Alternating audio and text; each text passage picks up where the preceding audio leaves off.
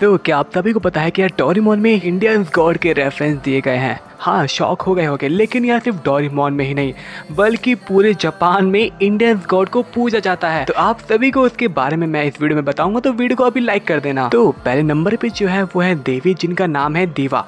और इंडिया में इनको कहा जाता है माँ सरस्वती, जो कि यार आप सभी लोग जानते हो, विद्या की देवी हैं।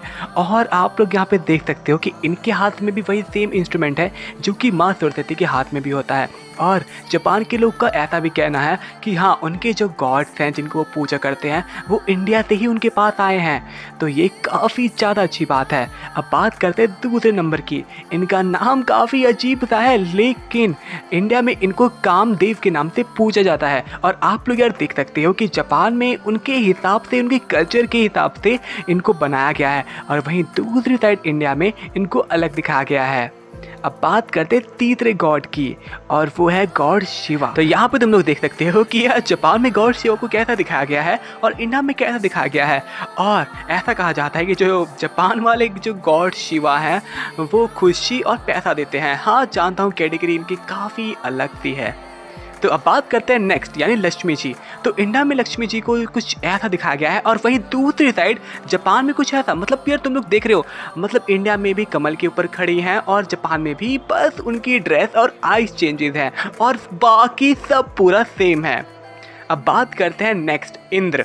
तो आप लोग जानते हो गॉड इंद्र इंडिया में कैसे दिखाए गए हैं, जो कि एक हाथी के ऊपर है। और वहीं दूसरी साइड, जो जापान के गॉड इंद्र हैं, वो भी हाथी के ही ऊपर है। बस उनकी आईज और कपड़े चेंज कर दिए गए हैं, जो कि यार मैंने तुम सबको वीडियो को स्टार्टिंग में बताया था कि वहाँ के कल्चर के हिसाब से बस उनकी ड्रेसेज चेंज कर दी गई हैं और पूरा सेम है। अब बात करते हैं नेक्स्ट, ब्रह्मा।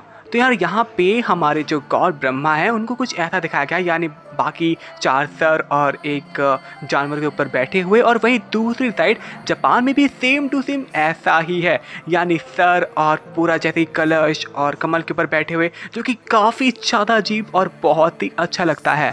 अब बात करते हैं नेक्स्ट यानी कुबेर। आप लोग जानते हो कुबेर जो कि पैसों के देवता हैं। इंडिया में उनको कुछ ऐसा दिखाया गया है और वहीं दूसरी साइड कुबेर को जापान में पतला दिखाया गया है, लेकिन वही सेम चीज़ें हर कुछ। अब बात करते हैं नेक्स्ट यानी गणेश जी। तो जापान में यार गणेश को बहुत ही कम दिखाया जाता है। जैसे कि यार इंडिया में आपको हर एक घरों में, मंदिरों में गणेश जी की फ़ोटोज़ और मूर्तियाँ देखने को मिल जाएँगी।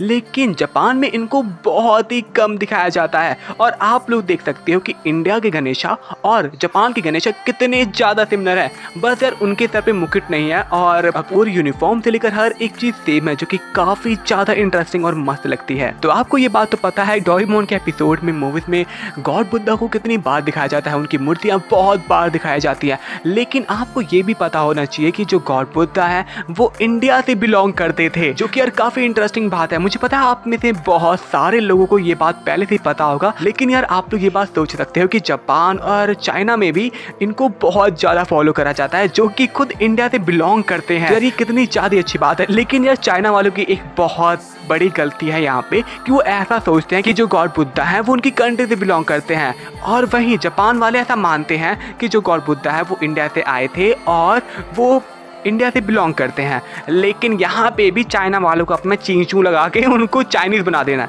मतलब क्या ही बोल सकते हैं अब हम उनको और सबसे ज़्यादा अच्छा आपको कौन सा पार्ट लगा, ज़रूर से कमेंट बॉक्स में बताना। मिलते हैं नेक्स्ट वीडियो में, तब तक के लिए टाटा बाय बाय और साइयो नारा।